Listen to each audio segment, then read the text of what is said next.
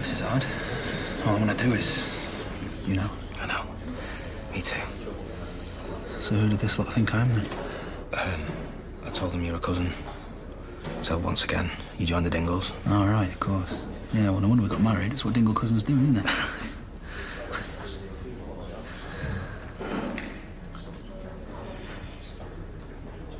How are you doing?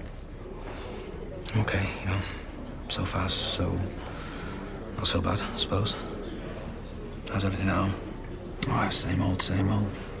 Actually, no. Um, Sarah's in Prague for that new treatment. and It's complicated. It always is with your family, isn't it? Sorry. Our family.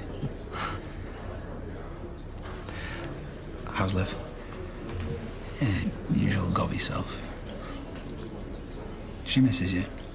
But she'll cope.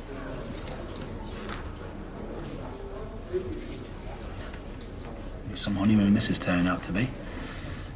Robert, I'm so sorry. I messed all this up big time. This isn't fair on you. Hey, enough. I'm not the one banged up. We'll just have to make up for lost time when you get out. I'll hold you to that. Yeah, you better.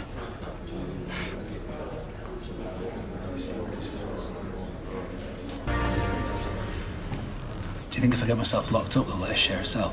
like that's ever going to happen. All the stuff you do, you always get away with it. Yeah, must have been born lucky. Or jammy. But seriously, though, you will be careful, won't you? Someone to watch you back while I'm in here.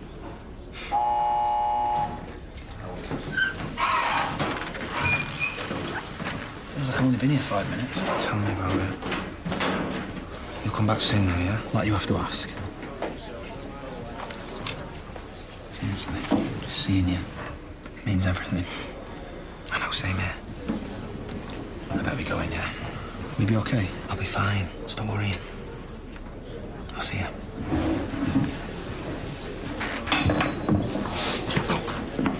Sorry about that, mate. You good? Yeah, you? Yeah, never been better. It's turning into a really interesting day.